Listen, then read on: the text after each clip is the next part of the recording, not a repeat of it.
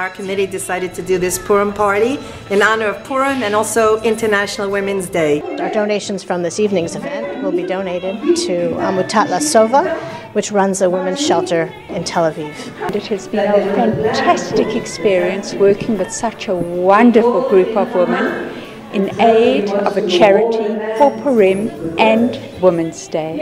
זה נחמד נורא להשתתף בפורים שפיל, זה מוציא אותך מהשגרה, אני משתתה, וזה כיף גדול.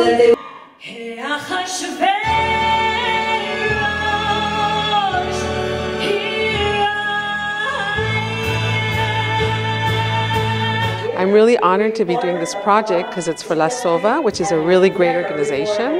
Um, I'm very familiar with their work, and most of us here are, and that's why we're so pleased that they decided to do this wonderful, fun uh, parody of the Purim story about this great organization. We broke the rules a little bit. We took some political license. We became a little politically incorrect. We took somewhat of a feminist view. And I have to take this opportunity to say thank you to Julie for being the most amazing hostess.